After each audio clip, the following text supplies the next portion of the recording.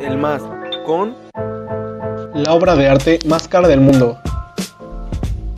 El título a la obra más cara de toda la historia pertenece al Salvador Mundi de Leonardo da Vinci.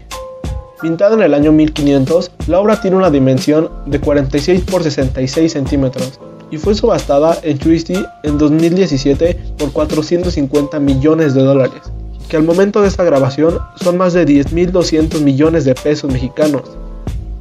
La pintura muestra a Cristo con un vestido renacentista dando una bendición con la mano derecha levantada y dedos cruzados mientras sostiene una esfera de roca cristalina en su mano izquierda, señalando su papel como Salvador del mundo y Maestro del Cosmos, y representando a la esfera celeste de los cielos como se percibió durante el Renacimiento. ¿Crees que esta obra valga los 400 millones de dólares?